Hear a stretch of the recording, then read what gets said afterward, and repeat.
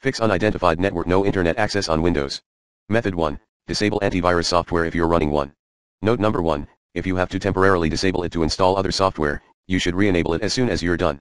If you're connected to the internet or a network while your antivirus software is disabled, your computer is vulnerable to attacks.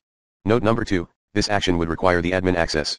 Method 2. If you are able to access internet in safe mode with network, then perform a clean boot, e.g., try disabling McAfee Network Agent Service if you're running a pre-installed McAfee security app. See useful instructions at http colon slash slash bit.ly slash 2c7udno. Note, after troubleshooting, start your system normally after clean boot troubleshooting. Method 3, re-register DNS. Perform the below commands as the admin user, IP protocol configuration slash flushdns IP protocol configuration slash registerdns IP protocol configuration slash release IP protocol configuration slash renew restart your PC and check if you still face this issue. If you're also using some router, first, backup or download current configurations. Then, restart your router and slash or modem device. Try upgrading router firmware first. AND. Reset your device. Method 4, try the following commands. netsh int IP reset reset log.txt. netsh winsock reset IP protocol configuration slash registerdns IP protocol configuration slash flushdns IP protocol configuration slash release if the issue persists, assign an IP address for your wireless network, if you're using one, and then try to ping your router, press Windows key and the R key and type ncpa.cpl. Right-click on the wireless network that you use and select Properties. Highlight or select Internet Protocol version 4 and click on Properties. Select Use the following IP address. Tip, if your router IP address is 192.168.1.1, run IP protocol configuration, and the other computer IP address is in the same sequence 192.168.1.2, then try to assign 192.168.1.3 and the subnet mask 255.255.255.0 and press enter. Close the network properties window. Open the command prompt and type ping 127.0.0.1 and press enter. Type ping 192.168.1.1 and press enter. Type ping 192.168.1.3 and press enter. Restart your computer when you get the job done. Method 5.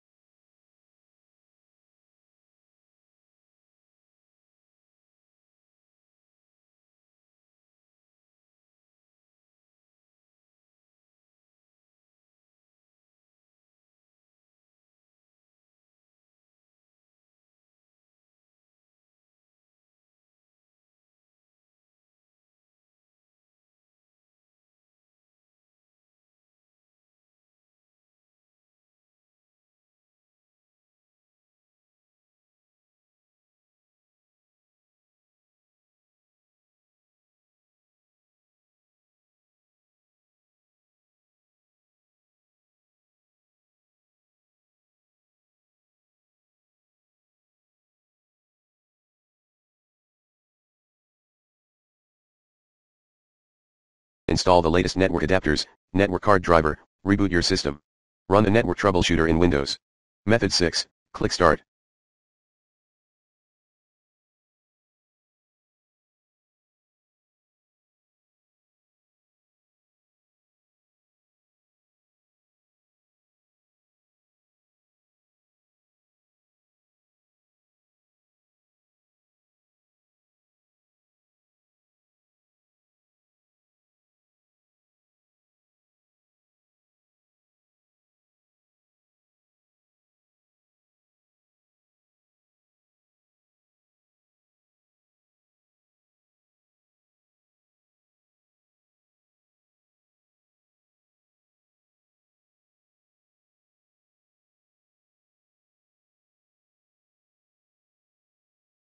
In the search box type services.msc. Right-click WLAN AutoConfig and go to Properties. Select Automatic from the Startup Type drop-down menu. Head to http bit.ly slash 29iajar for more troubleshooting tips. Method 7,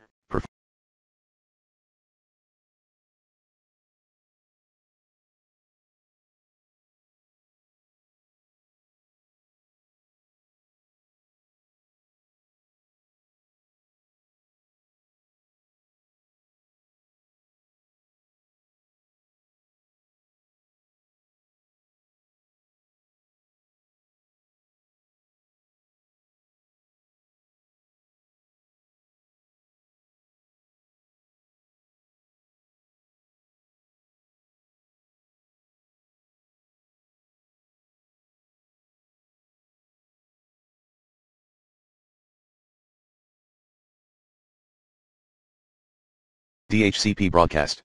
Warning, modifying registry settings incorrectly can cause serious problems that may prevent your computer from booting properly. We cannot guarantee that any problems resulting from the configuring of registry settings can be solved. Modifications of these settings are at your own risk.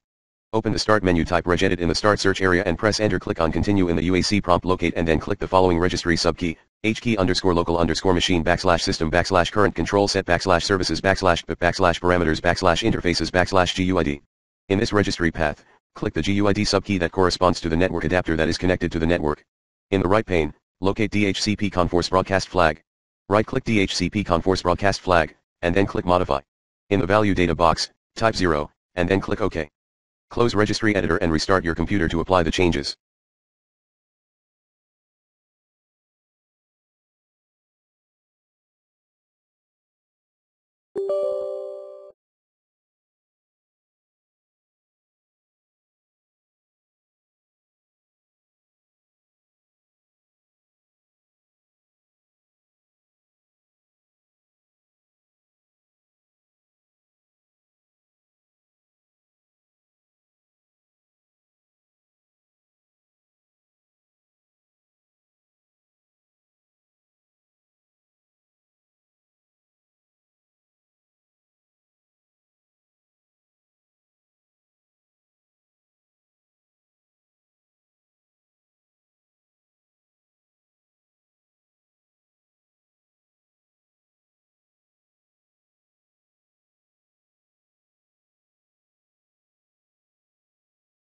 The value of 0 disables this registry entry. You can use this registry entry to prevent Windows Vista from using the DHCP broadcast flag. For power users only, make the best of network troubleshooter event logs. Other voices, 1.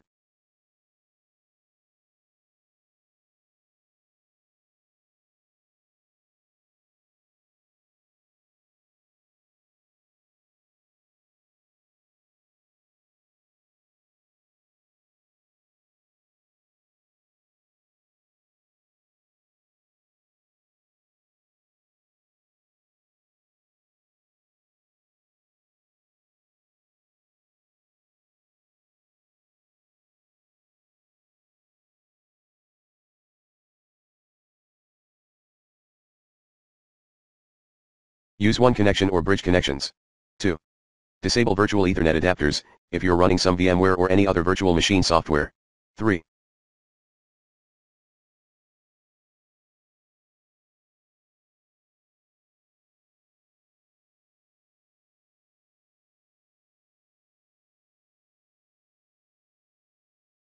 Disable, then re-enable network connection later. 4. For Windows 10 users, turn off the airplane mode. And, Disable the fast startup feature. 5.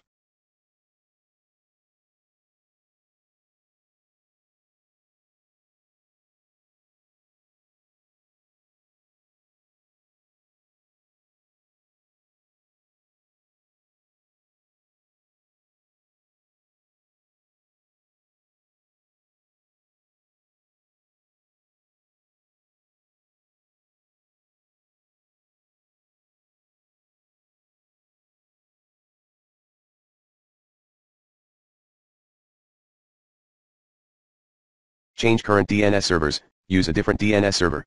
6.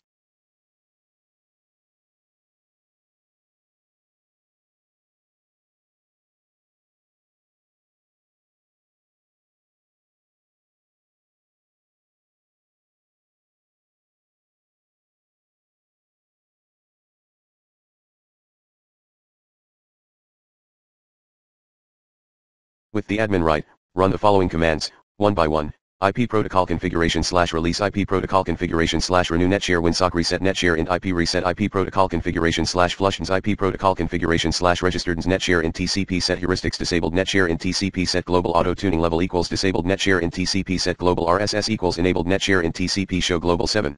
Use a static IP address instead. 8.